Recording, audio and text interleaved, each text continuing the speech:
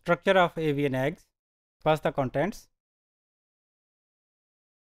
egg formation egg white egg shell and the overall structure of the egg so first the egg formation students egg formation का जो process है किसी भी animal के अंदर जो है it always takes place in the ovaries तो तमाम एनिमल्स की तरह बर्ड्स के अंदर जो एग फॉर्मेशन होगी वो बर्ड्स की ओवरीज के अंदर होगी, एग वहीं मेच्योर होगा और उसके बाद जो है वो नॉर्मली जो एग होगा it will containing large amount of yolk जो बर्ड्स का जो एग है, इसके अंदर योग की अमाउंट बहुत ज़्यादा होती है। तो यानी ओवरीज के अंदर जो एग बनता है, उसके अंदर बहुत ज़्यादा अमाउंट में योक मौजूद होता है। Later on when this egg will mature it will be release from the ovaries ये ओवरी से रिलीज़ कर दिया जाएगा और उसके बाद ये आ जाएगा ओवीडक्ट या फेलोपियन ट्यूब के अंदर आ जाएगा। ओवीडक्ट के अंदर जैसे ही एग मूव करके आएगा, आपने ये चीज़ याद रखनी है कि जो एग एक्चुअली अभी रिलीज़ हुआ है that is only the yolk ये सिर्फ़ योक है, यानी एग अंडे की जर्दी है, इसके ऊपर कोई किसी तरह की कोई एग वाइट नहीं या कोई शेल मौजूद नहीं होता है। When this egg comes into the oviduct oviduct में जब एग पहुँचता है तो वहाँ से जो स्पर्म है, वो भी ट्रेवल करके ओवीडक्ट के ऊपर वाले हिस्से में आ चुका होता है। तो एग और स्पर्म के दौरान फर्टिलाइजेशन होगी और फर्टिलाइजेशन की वजह से ये एग जो है now it is the fertilized egg ये जो है फर्टिलाइज एग जो है वो मूव अब फर्टिलाइजेशन के बाद ये ओवीडक्ट के अगले पोर्शन में जो अपर वन थर्ड पोर्शन में फर्टिलाइजेशन हो जाती है। उसके बाद ये आहिस्ता आस्ता आगे की तरफ़ मूव करना शुरू करेगा। जैसे ही fertilize egg it will move downward in the oviduct oviduct की जो वाल्स हैं they are highly glandular glandular का मतलब ये बहुत सारे सिक्रीशंस दे रही हैं।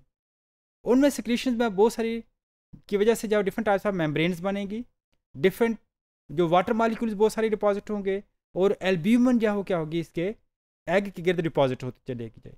तो जैसे ही ओवीडक्ट के अंदर एग मूव करेगा एग की मूव मूवमेंट आमतौर पर रोटेशनल होती है। एग रोटेट करता हुआ नीचे आएगा। जब ये रोटेट करता है तो इसके ऊपर एल्ब्यूमिन वाटर मालिक्यूल बहुत से मेम्ब्रेन स्ट्रक्चर इसके ऊपर डिपॉजिट होते चले जाते हैं।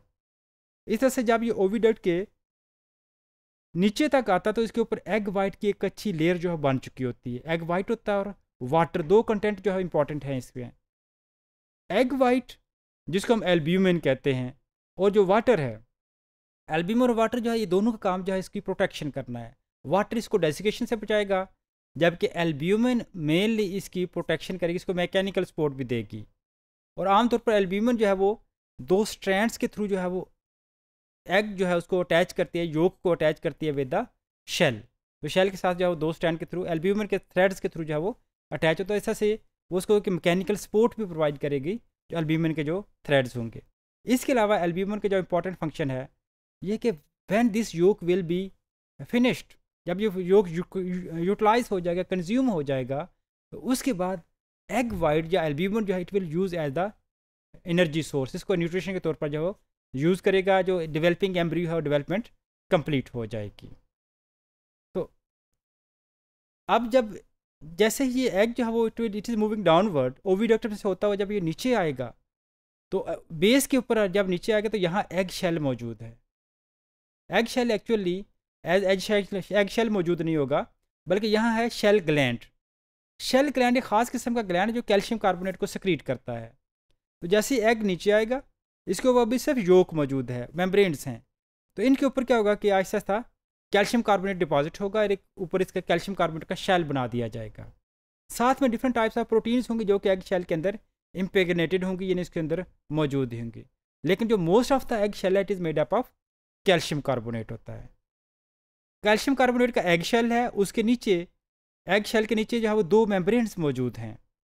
इन दोनों मेम्ब्रेन्स के दरमियान जो स्पेस होती है जिसके अंदर जो एक्चुअली एक एंड के ऊपर स्पेस होती है, जिसको हम एयर पॉकेट बोलते हैं, जो गैशियस एक्सचेंज में यूज़ होती है। एग शेल का अगर स्ट्रक्चर देखते हैं तो इसमें बहुत सारे पोर्स होते हैं।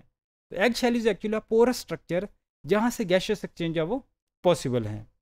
यहाँ अगर हम देखें फिर we have the diagram of or the structure of the egg shell egg shell का स्ट्रक्चर अगर देखें, सबसे दरमियान में दिट इज़ अ योक जो एक्चुअल एग है, वो यही है दिस वन है, ये सेंट्रल पोर्शन जो है, ये दिस द एक्चुअल एग ये एक्चुअल एग है, जिसमें देख सकते हैं कि आप मोस्ट ऑफ़ द पोर्शन जो है it is filled with the yolk most of the portion जो है, वो योक ने फिल किया हुआ है।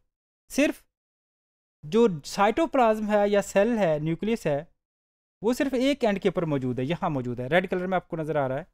तो ये वो सेल्स जहाँ एरिया है जहाँ न्यूक्लियस तो साइटोप्लाज्म मौजूद है। इसलिए इस एग को हम क्या नाम देते हैं?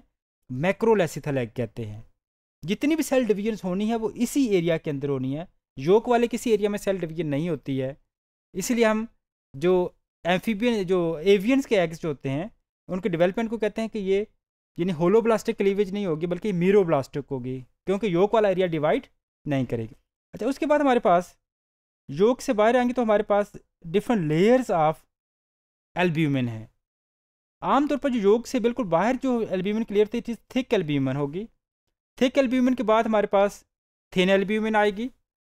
दो स्टैंड मैंने कहा था कि एल्ब्यूमिन के होते हैं जो योग को कनेक्ट करते हैं विद द शेल ये आप देखते हैं यहाँ, ये हमारे पास ये वो, जो कैलाजा जो है, ये बेसिकली क्या है? This is the strands of albumin ये एल्ब्यूमिन के स्टैंड्स हैं जो योग को सपोर्ट प्रोवाइड कर रहे हैं।